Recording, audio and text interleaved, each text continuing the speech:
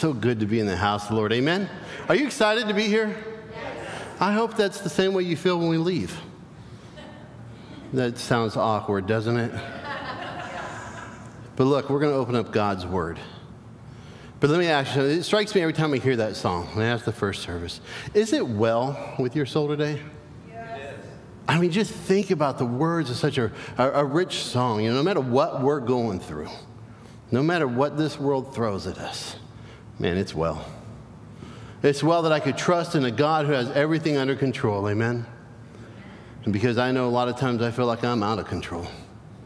If I'm out of control, I need to trust in a God who's in control. It's well with my soul. If you have your Bibles or your electronic devices, turn to the book of Luke, chapter 15. We're going to camp out there for the next little bit. I'm going to tell you up front that what we're getting into is not rocket surgery or brain science. It's one of those things that's pretty simple. And as I was reading through this text, it kind of, you know, it's one of those things that every time I get ready to preach, I read through a text and it smacks me upside the head. And it really challenges me. And, you know, so I, I try to live this out first First, by being convicted by what it says. Second, by paying attention to how I should live according to what it says. In order to stand before a church and say, here's what God's word says to us. So, are we ready for this, church? You, you good? All right, I hope so. I hope so. So, we've been walking through a series called Encounters, and this is where we look at various. Uh, texts that, where people encounter Christ and the outcome of that encounter. And my prayer this morning is that we encounter Christ Himself within this text. And that we're challenged to live more like Christ and less like our own natural desires. It's tough to do.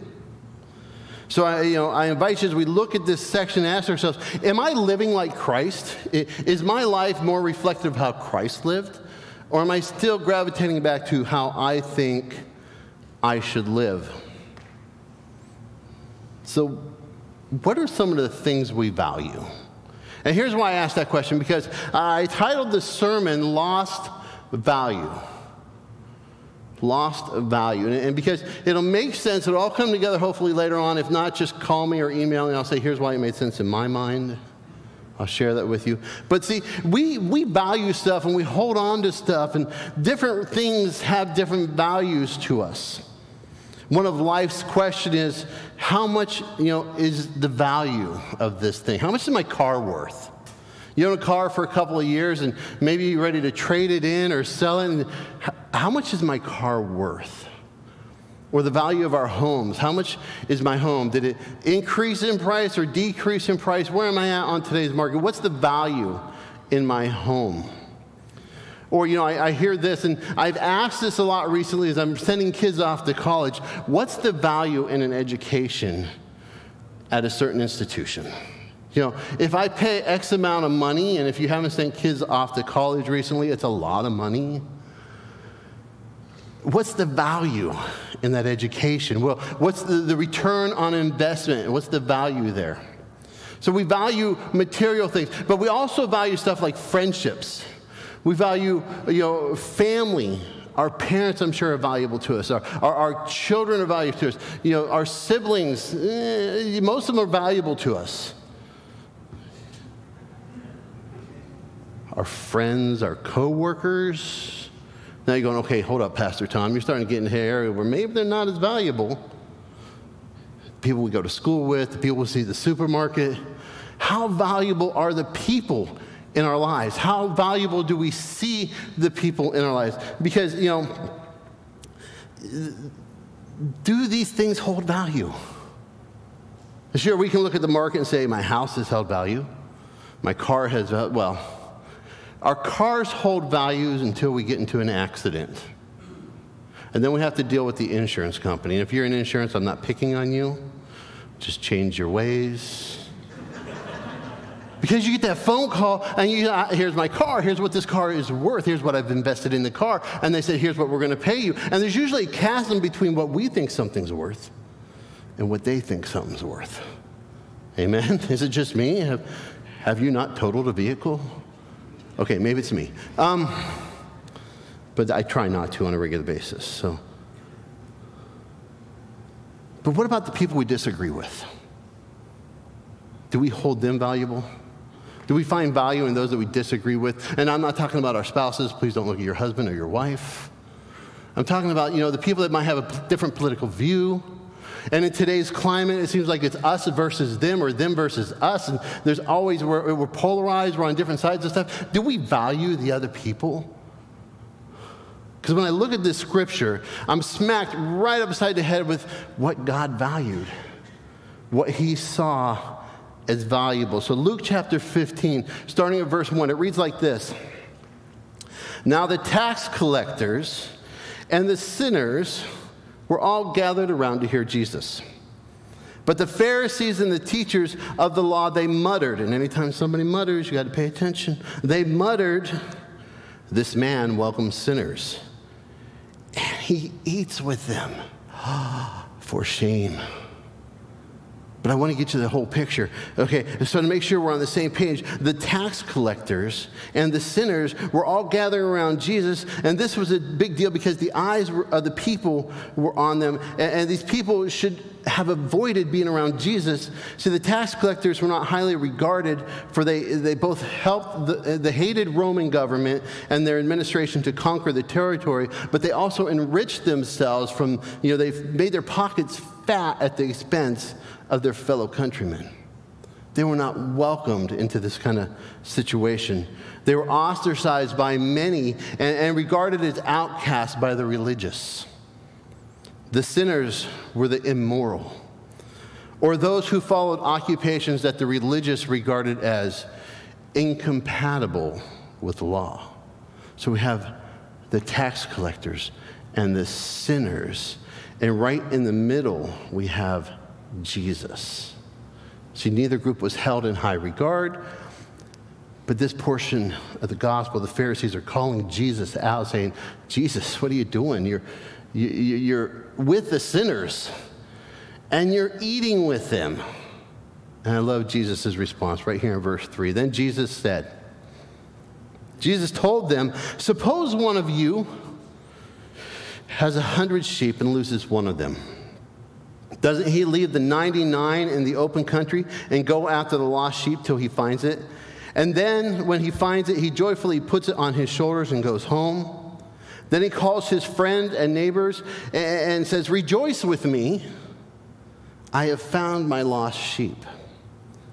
I tell you that the same way there will be more rejoicing in heaven over one sinner who repents than over 99 righteous persons who do not need to repent. And they transition, Jesus transitions from the sheep to the coin in verse 8, where he says, Suppose a woman, so we have both genders, both losing something here. The woman has 10 silver coins and loses one. Does she, uh, doesn't she light a lamp, sweep the house, and search carefully until she finds it? And when she finds it, she calls her friends and her neighbors together and says, Rejoice with me. I have found my lost coin. In the same way, I tell you, there's rejoicing in the presence of the angels of God over one sinner who repents. Will you pray with me? Father God, as we examine your word this morning, Lord, may we understand what your heart is and the value of the lost person that we can understand what it is to seek out the lost as you sought out the lost, that we can see the value in the lost like you saw the value in the lost. And Lord, may you transform us that we may be different when we leave here because we've heard from you this morning. So, Father, I ask, remove all the distractions. All the stuff that we could walk in here with that could distract us in the next few minutes, Lord. And Lord, if I'm one of those distractions, remove me that they may hear your voice this morning and re- respond to you in your name we pray. Amen. What's the value in lost things? Have you, have you ever lost something? And I want to make it clear, it's not misplacing. It's a little different because I can take stuff, you know, and put it in my garage where I think I know it is six months later. Maybe my memory doesn't serve me right. Maybe it's on the other wall and I'm searching where I put it, so I've misplaced something, but lost something. See, when I come home, I put my wallet and my keys and, you know, my chapstick or whatever's in my pocket in the same spot. all the time. Here's where dad's spot is, you know. And so if I ever have to go get my keys, I go to my spot. You know, this is where, in fact, if I have driven my wife's car and she's looking for her keys, she goes to my spot because chances are I've put the keys there. Years ago, I'm working for an organization that we would travel all across the state and do trainings in churches and, and lead services in the churches. And I had the opportunity to take one of the company cars to this, to this church miles and miles away. And, and the thing is, this was butting right up to our family vacation. See, I was going to go do a training on Saturday morning, come home, gather the kids, and we were off to Disney World for a week of fun. And so we had it all planned out that I'll go do the training, I'll stop by, we'll get the other car, you follow me to the office, we'll drop the company car off and head on down the road. Sounded like a plan. The best laid plans always fail. Amen? So I come home and I set my keys down and I have lunch with my wife. I make sure everything's packed. And I said, okay, let's go. I'll grab the keys to the, the, car. And I can't find the keys to the car where I just got home maybe an hour before. And usually they're where I put them, but I can't find them. They're lost. And it wasn't one of those, you know, you put them in the wrong place. I mean, they're, they're, if you're like me, every time I've lost something like that, I usually start with like checking my pockets. Like, are they in your pocket? And I, got to the point where I'm, I mean, I'm pulling my pockets out. So my wife sees that I'm not just goofing off. I don't have them in my pocket, which is a good place to look because I've often lost my glasses on top of my head. Okay? If you wear glasses, you feel my pain. And it, so we're searching all over. We got to the point where we took all the luggage out of the car because we could not find these keys. We've opened up the luggage thing, maybe, just maybe, you know, we tossed them in there, you know, excited to go, that we've done something. And we're always, we're reverting back to things that, you know, the bags were packed last night. You know, unless I'm David Copperfield and perform some magic, the keys magically appear in the suitcases. We're checking everything. I'm checking the microwave. I'm checking the refrigerator. I'm checking the drawers inside it because these keys, uh, you're shaking your head because you've been there. You're with me. And then I start checking the cabinets. And sure enough, I pull out the silverware drawer, and we're about four hours into a search now. And they were right there in the silverware drawer. Why? I blame my children. Because certainly I didn't come home and go, just put these in here. They were lost. And because they were lost, we took the time to seek for them because there, there was something we had to do, but we couldn't get on to what we had to do because we had to find what was lost. Are you tracking with me? So, there's, here's the nugget of truth we've all been lost. We, we've all been lost. Here's the condition. Point number one the condition. We've all been lost. Each of these accounts and these circumstances is the same. Something is lost. A sheep is lost. A coin is lost. Uh, they're just lost. They're, they're, they're, not merely somewhere the owner put them and forgot about them. Each one has gone to a place. They're lost. They're not where they're supposed to be. They're separated from the rightful source. And what Jesus is getting at through the parable is the condition of mankind. This condition is that each and every one of us are born into lostness. One of the most famous Bible verses, often quoted, is John 3:16. And it says, you know, for God so loved the world that he gave his one and his only son, that whoever believes in him will not perish, but will have everlasting life. But we don't often quote John 3:17. And John 3:17 says, "For God did not send his son into the world to condemn the world, but to save the world through him." So why did Jesus not come to condemn the world? Because the world was already condemned. We were already lost. You say, how did we get lost? You know, did God design us to be lost? No, God designed paradise. And when He placed Adam and Eve into paradise, you know, the serpent comes along and, and, tricks Eve to trick Adam to eat the apple. And when they ate the apple, sin entered the world, therefore causing everyone from their house being born into lostness. So our condition is lostness to begin with. You are lost. I was lost. And, and, there had to be a solution for the lostness. And people say, why would God send someone to hell? God doesn't want people to go to hell. Our condition is we're bound for hell until something interjects, and that interjection is Jesus because God so loved the world. Are you tracking with me? And because God so loved the world, he sent his only son not to condemn us, we're already condemned, but to save us. We're condemned from the beginning. God's plan is to rescue us. It, give us a path out of hell through his son, Jesus Christ, who paid the ultimate price. Each of us are condemned. Jesus provides the solution. The problem is people don't trust the solution. Or people haven't heard about the solution. People like to be selfish and follow their own desires. And the prophet Isaiah even speaks to this, where in Isaiah 53 6, he says, We all, here's the theme, we all, like sheep, have gone astray. Each of us have turned through our own way, and the Lord has laid on him the iniquity of us all. People are far from God. God sees these people as lost, and because people are doing their own thing, they're separated from Christ, and God sees us as lost. Our condition is we're lost. But the parables aren't about sheep or about coins, they're about people. More specifically, they're about spiritual lives of people, and people are spiritually lost. And one big question is why are people spiritually lost? And that's a big thing to answer. Why are people spiritually lost? I'm going to give you a few. This isn't an exhaustive list, but there's many reasons. Here's a few. Some people are lost because they're stubborn. They're stubborn. They're set in their ways and they're stubborn and they're not going to change no matter what they hear.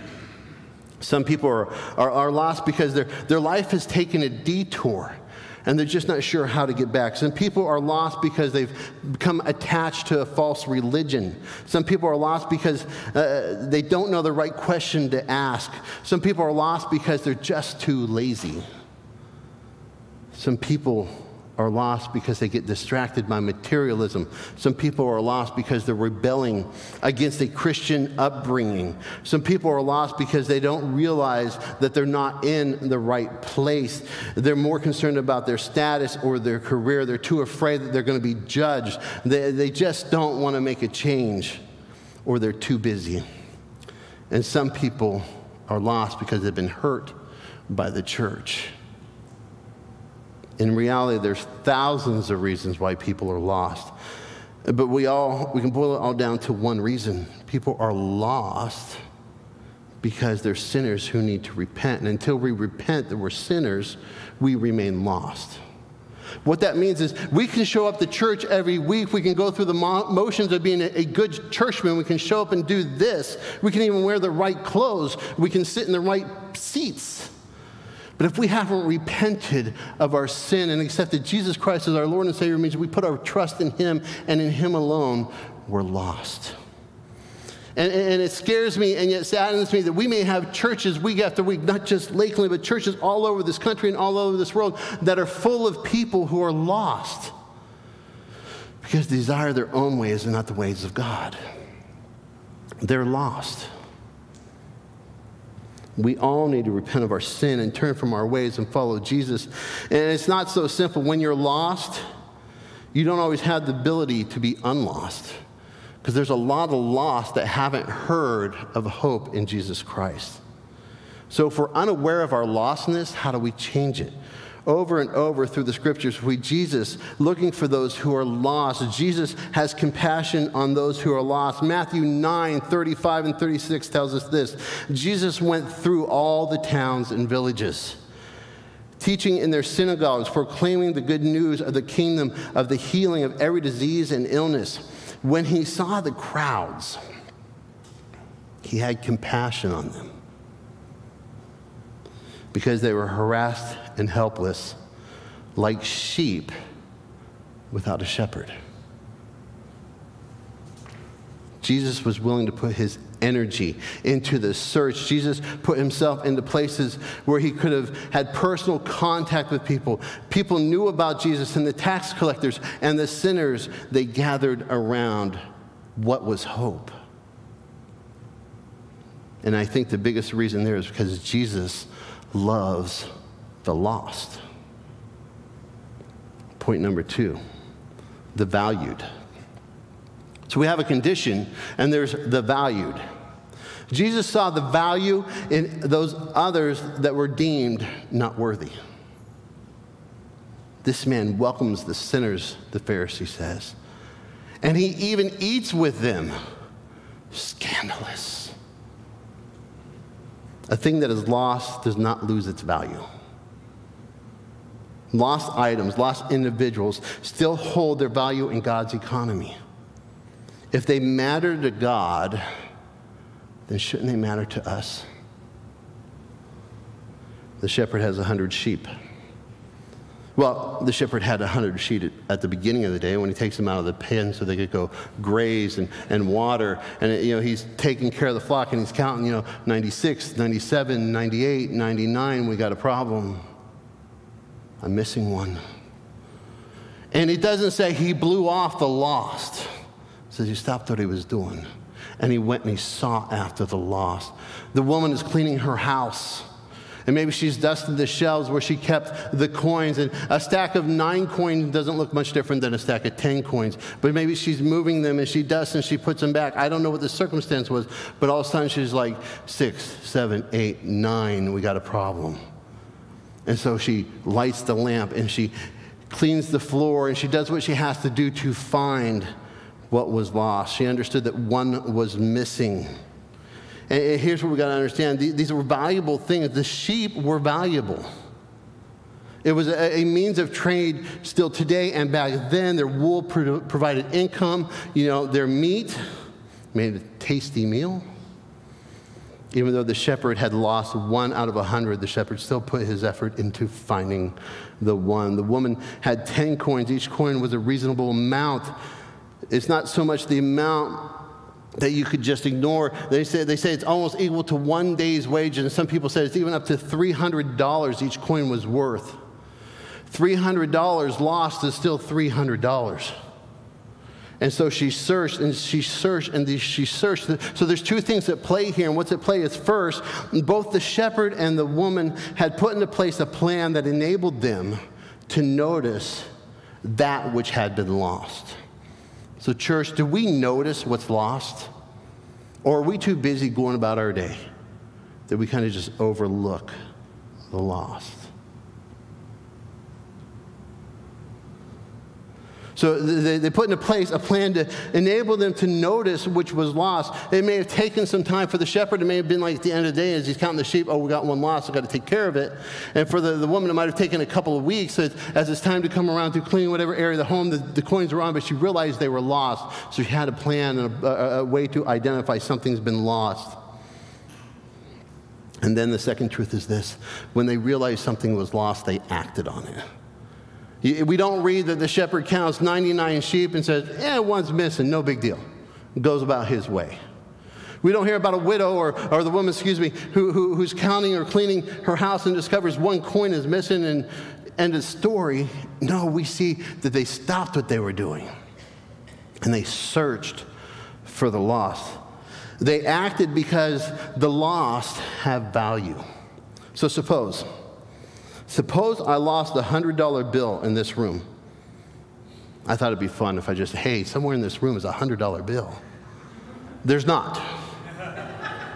Okay. A, I don't have a $100 bill. And B, if I did, I wasn't going to use it for an illustration by saying, hey, find it. If you get it, it's yours.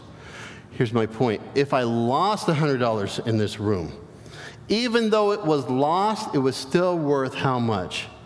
$100. It didn't lose its value just because I lost it. The lost don't lose their value to God just because they're lost. And if they, they're valuable to God, and, and not that he's saying, look, the, the shepherd stopped what he was doing to find the lost. If it's valuable enough to God that Jesus says, look, the, the woman stopped what she was doing to find the lost, then shouldn't we stop just going about our ways and start looking at the lost? Don't we have a responsibility here? Don't we have, you know, a responsibility to have compassion on what is still valuable? Jesus saw the value in those that others had deemed unworthy. And he welcomed them and he even ate with them. And here's why, why that's significant. The religious storyline of the time said these are bad people. And bad people have no value, even so much that one should not even choose to eat with them. Eating with these sinners or the tax collector. Yes, God? Eating with these sinners or tax collectors was regarded as worse than merely associating with them. It means that you had welcomed them in and that they now are recognized with you. So there's a social dilemma at play. So Jesus is now being recognized as someone who welcomes in the sinners and he is associated with the sinners. And, just, I, want to get the whole picture here. See, there's a, Pharisaical spirit going on, and where the Pharisees are saying, Why would you spend time with those people? Those people. In church, I really hope we don't use that term, those people. But I think we're right on the brink. I think we're in the danger zone of going, those people. Th- those people that we want to look down our nose on are valuable to God. They're just lost. And, church, th- those lost that are valuable to God, we have an answer for it. But instead, are we choosing just to be silent? To say, you know what, I'm too busy for those people.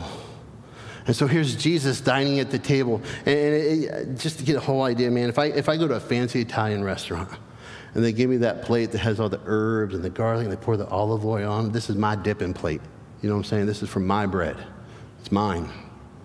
Get your own. Because I love it when you know, I get my own plate and other people get their own plate. And then it's, you know, it's the wrestle for the bread, and we're like playing, you know, breadstick, you know, sword fighting over who gets the bread so we can dip it in the dipping sauce. Maybe it's just my family. Maybe I'm weird. But I'll use up the dipping sauce. This is my plate okay? Because I'm civilized. That's what we do. We're American, we're civilized. My plate, my dipping sauce. But if my dipping sauce is gone, I'm looking at my neighbor's dipping sauce. And I'm starting to covet because I'm about ready to reach over and dip my breadstick in their dipping sauce. You're like, that's weird. No, that's good. But see, we're not accustomed to that in this day, one table, one bowl to dip in, one loaf of bread, and it's not neatly cut. They're all pulling each other. So their hands are all over the food. It's a much more social ex- experiment going on than what we're used to in our clean, nice little world. These are people that you don't associate with ripping food apart, not in a barbaric way, but taking care of the food so that they can dine with one another. And Jesus is in the middle of this with the sinners and the tax collectors. And it says, and he even ate with them, which means he's breaking bread with the sinners. He's dipping the bread where the sinners dip their stuff. He's associating fully with the sinners. He's not keeping them at arm's length. He's not saying those people. In fact, he's looking at them as the same lens as his father. He's saying, My people, whose only hope is in me. And they need to know me to know that I provide the hope for mankind because their condition was much like our condition. They were lost. We were lost. We were just lucky enough to have someone get through to us and tell us about our lostness so we can repent. So this begs the question if God so loved the world,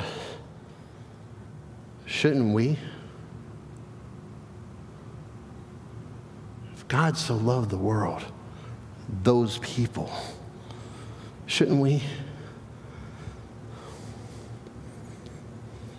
This is his whole mission. Luke 19:10 it says for the son of man came and to seek and to save what was lost. He, uh, that's the whole mission. And that mission of Jesus didn't go away. In fact, that mission of Jesus, he, he, he, passed on to the disciples. Matthew 28, he's about to ascend to heaven. He goes, Look, all the power and authority has been given to you. Therefore, go and make disciples. And I think it's funny because people say, Hey, Pastor, uh, I'm trying to find out what the will of God is for my life. Well, I'm going to help you. Go and make disciples. Uh, what do you mean? I mean, go and make disciples. And, and if you translate it correctly, it's more as you're going, as you do what you do, make disciples. So we, we have five banners over here on the wall that talk about a, a spiritually mature disciple. And, you know, and, and, this is our pathway for helping people what it is to be a, a spiritually mature disciple. But what, what comes before all this, the number one step in making a mature disciple, people have to know Jesus. I, I, can't set them loose on this pathway, you know, where, where they're giving and, and, you know, where they're, you know, in the word and prayer and they're serving. If they don't know Jesus, they're not really on the pathway to being a mature disciple. So it starts with, do you know Jesus?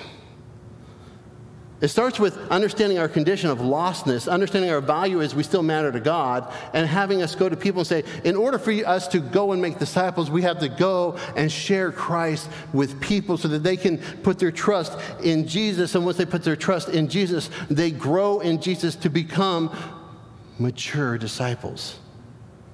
But it starts at the beginning with us going and sharing the gospel with a world that needs to hear the gospel. If God so loved the world, who decided that we shouldn't? Leads me to the third point. I love the third point because that usually means we're closer to lunch. Amen. The celebration.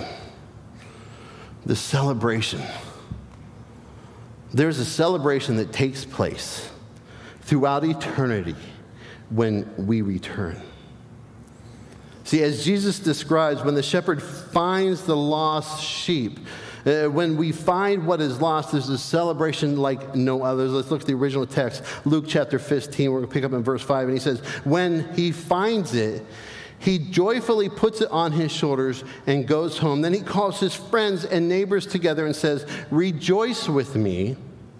I found my sheep I tell you that uh, in the same way, there will be more rejoicing in heaven over one sinner who repents than over 99 righteous people who do not need to repent. Now, I got to be really careful I say this. I'm so glad you're here this morning. I'm excited you're here this morning. But us just merely going through the motions of coming to church that's good. But I don't think this right here causes heaven to party. Because it says right here that there's rejoicing in heaven when one sinner repents. I love the fact that we have a rose every time we know about salvation through the church. That's an amazing thing. Because when that rose is up here representing that life, when that life is transformed, there's a party in heaven taking place. The angels are going berserk, going, whoa, yeah, it's like party time. I promise I'll never do that again. But there ain't no party like a Holy Ghost party, because the Holy Ghost party don't stop, amen? And here's my passion I want to cause heaven to party. I, I don't want the party to stop. And here's how we keep the party to keep going keep the party alive, we bring people to Christ. We bring people to Christ. Uh, there will be more rejoicing in heaven over one sinner who repents than over 99 righteous people who do not need to repent. Did we catch that? More rejoicing in heaven over one sinner than the 99 who didn't need to.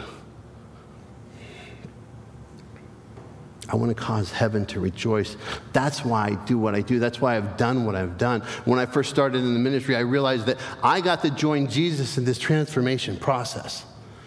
And I got to lead people into a relationship with Jesus that caused heaven to party. And that gets addicting. Man, there's nothing greater than leading people to Christ and finding opportunities where we can lead people to Christ. You know, uh, there was this separation, and we get to bring people back. And we may wonder why is this such a big deal? And it's because, you know, how insignificant my life must be in the scope of stuff. But you know what? Someone took the time to share with me what it is to have a personal relationship with Jesus. And now my job to fulfill the word of the will of God is to go and make disciples and help others know him as well. So here's the plea as we close. Will you join me? Because I was once lost, but now I'm found. And here's the truth found people find people. Found people find people, which means if you're sitting here and you have a personal relationship with Jesus Christ, our job now is to go find others to have a personal relationship with Jesus Christ. Th- that's our responsibility. And in a world where people are dying and going to hell because they don't have a relationship with Jesus, eh, and those lives matter to God, they have value to God, they should have value to us that we are able to slow our roll and what we're doing, our busyness, to share Christ with the people around us that desperately need Him. My second plea is this if you're here this morning and you've never accepted Jesus Christ as your Lord and Savior, you've never placed your trust in Him, I want to invite you to do that. See, we're all creation of God. And that's what gives us value. But then when we accept Jesus Christ as our Lord and Savior, when we transfer our membership from creation to child of God by accepting Him and trusting Him and saying, Lord, you are who you say you are. They, you did what they say you did, and I place my life in you. We say we're born again. So if that's you and you're here this morning, you've never accepted Jesus Christ, I want to give you that opportunity. Maybe you're watching online and you've never done that this morning. Would you put your trust in Jesus? Maybe you've been playing the game, you've going through the motions, and maybe you're in here with family, you might be a little too embarrassed to say, I'm going through the motions. But the greatest thing we can do is stop playing games and start playing the masquerade and saying, God, I'm all in. And we respond to being all in. Found people find people. Now I to bow your heads with me. Let me ask you a simple question. What, What is God saying to you through this message this morning? How would He have you respond? Maybe you're here and you know the whole idea of putting your trust in jesus and that, that's you and you want to do that so this morning as we respond if that's you and you want to put your trust in jesus i just ask you to just come forward in just a minute we'll have prayer partners up here we would love them to do nothing more than open up god's word and show you what it means to have a personal relationship with him Maybe you're here, and as we talked about the lost, maybe God put someone on your heart that you're like, you know what, I really need to be praying for this person and sharing with this person. I, I really need to cause heaven to party because this person needs to come to Christ.